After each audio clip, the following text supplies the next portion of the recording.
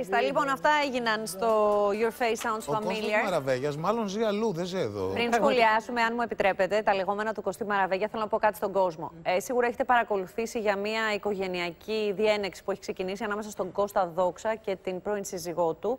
Ε, εμείς αποφασίσαμε πολύ συνειδητά να απέχουμε από αυτή την α, κουβέντα, α, γιατί οι δύο πλευρές α, ε, θα συγκρουστούν όπως όλα δείχνουν στα δικαστήρια και υπάρχει ένα μικρό παιδάκι. Και καλό είναι επειδή τα γραπτά μένουν και οι κασέτες μένουν, ε, και η εκπομπή ανεβαίνει και στο Web TV. Όταν αυτό το παιδάκι μεγαλώσει, επειδή μπορεί οι δύο πλευρές με κάποιο τρόπο να συμβιβαστούν, να μην τέλος πάντων υπάρχουν κουβέντες που θα το στεναχωρήσουν και θα το πληγώσουν.